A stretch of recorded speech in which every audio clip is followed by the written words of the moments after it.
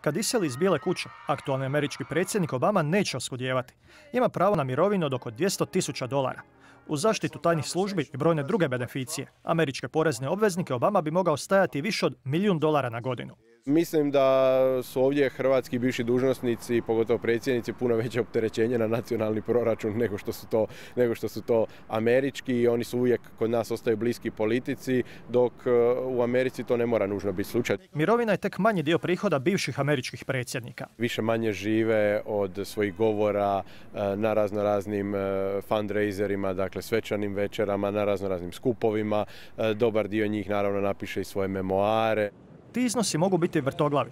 Procjenjuje se da je Bill Clinton od govora zaradio više od 65 milijuna dolara. Dodatnih 15 milijuna donijeli su mu memoari. I George Bush je zaradio milijune naplaćujući za govore najmanje 100 tisuća dolara.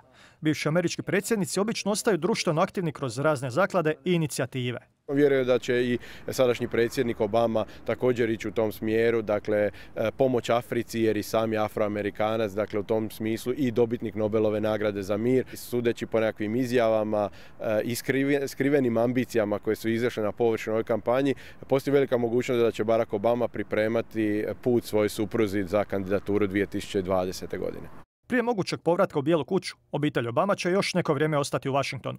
Unajmili su 5,5 milijuna dolara vrijednu kuću u će živjeti dok mlađak čiji Saša ne maturira.